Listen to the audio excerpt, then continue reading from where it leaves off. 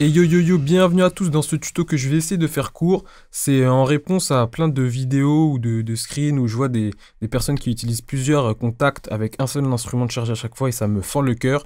Des fois c'est un choix, mais la plupart du temps c'est parce que les gens ne savent pas comment configurer contact. Donc je vais essayer de vous montrer ça rapidement dans FL Studio, mais vous pourrez l'appliquer dans n'importe quel euh, DAO à partir du moment où vous aurez compris la logique qui, comme vous allez le voir, est très simple. Donc je vais charger là pour l'exemple trois instruments, mais vous pouvez le faire avec euh, beaucoup plus. Hein.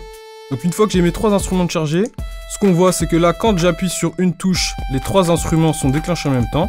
Donc forcément c'est pas ce que je veux, surtout que là ces instruments n'ont rien à voir euh, ensemble. Là je vais pas pouvoir faire du layering avec ça. Donc la première chose à faire c'est de différencier ici les channels, car de base c'est sur Omni. Et ça c'est un réglage que vous pouvez modifier dans les paramètres. Et donc la prochaine fois que je chargerai un instrument, il l'assignera à une nouvelle channel. Donc ça après voilà, hein, c'est à votre guise. Mais donc le plus important c'est d'avoir vos channels séparés ici. Dans FL il y a un petit plugin qui s'appelle le MIDI Out. Donc vous le chargez. Ensuite, vous allez dans les options, vous choisissez euh, n'importe quel port. Hein. Vous mettez le même dans MIDI Out. Et ensuite, vous allez cloner ce plugin autant de fois bah, que, vous le souhaitez, autant de fois que vous avez d'instruments. Et vous allez changer la channel à chaque fois. Donc là, j'ai trois instruments. Donc hop. Donc ensuite, bah, vous pouvez les les renommer en fonction. On va le faire rapidement là pour l'exemple. Et donc là, comme vous pouvez le voir, cette piste déclenche que le piano.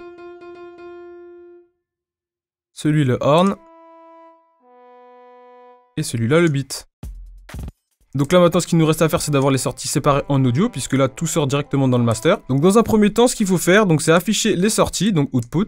Par défaut on voit qu'il y a une seule sortie disponible et des auxiliaires. Donc vous allez dans preset, batch fonction et vous cliquez sur cette euh, première euh, option qui est, hein, pour ceux qui parlent pas anglais, d'enlever toutes les, sorties qui seraient potentiellement déjà là et d'en créer une en fonction de chaque instrument. Donc c'est exactement ce que nous on veut faire. Donc là comme on le voit il nous a créé donc trois sorties et ces sorties maintenant il faut les faire correspondre bah, au mixeur, il faut les router dans le mixeur d'FL Studio. Donc pour ça c'est dans les options mais cette fois-ci l'onglet processing et ici on voit qu'on a les différentes sorties que nous propose euh, Contact. Donc vous faites d'abord correspondre plutôt la première et après vous routez à votre guise, soit vous faites donc ça va partir du premier et mettre les autres à la suite, ou vous pouvez très bien euh, changer, enfin bref, hein, vous avez compris. Donc là, pour, pour l'exemple, on va rester simple. Et à partir de ce moment-là, chaque élément, voilà, sera séparé, aura sa sortie séparée. Donc vous avez à la fois vos pits séparés en entrée et en sortie. Autre petit tips, pendant qu'on y est, vous pouvez aussi avoir une seule piste, mais déclencher plusieurs instruments avec les couleurs, car les couleurs, en fait, c'est pas que pour faire joli, ça correspond aussi à des channels MIDI. Donc c'est très simple, donc là, par exemple, hop, vous voyez que là, je suis sur la channel 1, donc je déclenche que le piano.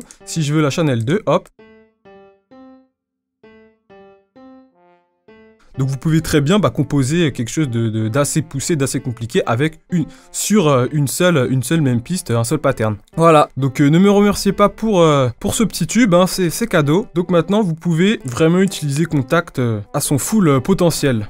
Je précise aussi que bah, vous pouvez appliquer exactement la même méthode avec n'importe quel plugin multitimbral, donc par exemple comme Omnisphere ou encore Philharmonic de IK Multimédia ou bien Avenger.